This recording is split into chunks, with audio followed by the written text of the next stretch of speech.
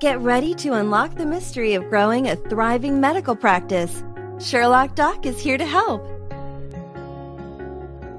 Before your medical practice opens for business, it's important to create a strategic marketing plan that will help you find new patients and put your practice on the map. A marketing plan is a blueprint that outlines all areas of your marketing, from direct mailings and referrals to online marketing and social media. Here are some of the most important elements of a strong medical practice marketing plan. A clear cut timeline.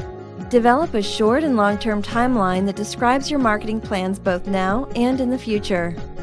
This timeline should include how you plan on reaching out to prospective patients as well as when and how often. A strongly defined target market. Your marketing plan should include a clear description of the type of patients you'd like to market to, as well as how you can serve them better than the competition. Offline marketing tactics. Keeping your target market in mind, decide which offline marketing tactics, such as direct mailings, advertisements, referral programs, and press, will resonate most strongly with your prospective patients. Online marketing tactics. Be sure to include plans for online marketing as well, including website design, social media, email marketing, and search engine optimization. Budget.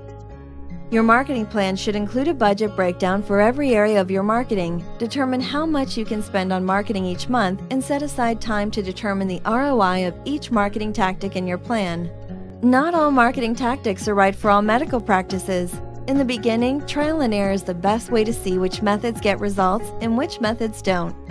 The most important thing to remember when creating a marketing plan is that you will need to continually tweak your plan based on patient response.